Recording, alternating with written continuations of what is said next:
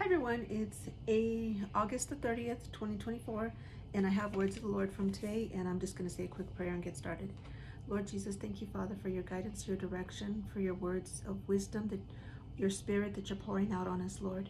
I pray for the body of Christ that we would come together, one accord, one heartbeat, seeking your truth, walking in your truth. I plead the blood of Jesus over my brothers and sisters, Lord.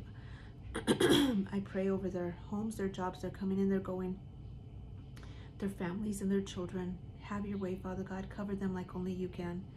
I pray over the lost, the confused, and the deceived, Lord, that you would cover them and guide them back to you, Lord, that they would seek you and seek truth and know truth, that we would not lean on our own understanding. I give you glory, honor, and praise in the mighty name of Jesus. Amen. Okay. My child, speak my words to my children, the lowly at heart and the young and youthful, who will soon be going into ascension. Time is of the essence. And I want a cleansed body, mind, and soul. Come to my feet, children. Now is that time. Have I not said, Be strong and courageous? I am the Lord God Almighty. Is anything too hard for me? I say, Nay, abide in me. I will abide in you. My ways are higher than your understanding, and apart from me, it will be impossible. Know my ways, children. Do not be left behind. Do not lean on your own understanding, believing the lies of the enemy. My ways are higher and grander. Who can know them? My children are lost in the world. Many will soon turn.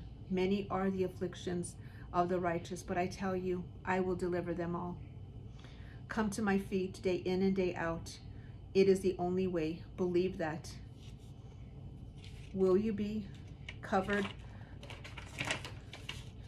under the shadow of my wings. Come now, my faithful. Turn from your wicked ways. I am the God of impossible. Tell my children, apart from me, you can do nothing, but with me all things are possible. A new walk, a new life. Be reborn and turn your life around. A call to the lost, scattered sheep. Don't believe the lies of the enemy. There is one way, one truth, my way. I am the only way, children. Speak my truth to the lost slumbered, that they may awaken to the times they live. I love you, my loves, Yeshua, the true Messiah, Jesus the Christ. And that's the message for today. Um, as always, pray about everything. Pray for discernment, understanding, and revelation. Get in your word. Seek the Lord with all of your heart. Get get in your word. It's so important. More than it's just so important. You need to know his words. You need to know and if you want to hear from him you need to know his language. This is his language. This the bible that he's given us that is key to get home and you need to be reading your word your word. It's so so important. Worship pray read your word live in the word and seek him with all of your heart mind and soul um, fast. Fast and pray for yourself, for your loved ones, for all those around you. Pray for your neighbors and commune. Do communion and pray about it if you're not sure about that. I know the Lord has told me to do three communion three times a day. Um, and he's told many other brothers and sisters. So pray about that and um, take everything to the Lord and seek him like never before.